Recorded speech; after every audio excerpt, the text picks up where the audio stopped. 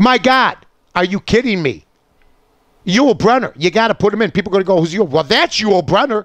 He was the first guy, the first really white guy to go completely bald back in the 50s. And he looked good. He wouldn't have looked good with hair like he did with the bald look. But back then, it took guts. People didn't want to be bald. Now it's fashionable to be bald. Now, you don't want to be bald with the sidewalls, okay? Like a, an Alan Brady, if you will. Uh, um, uh, you know, a Carl Reiner. You know, the guys uh, that do it. Uh, Jeffrey Tambor, the guy that plays Hank Kingsley. You don't want the hair on the side unless it fits. For him, it fits. You want it completely gone.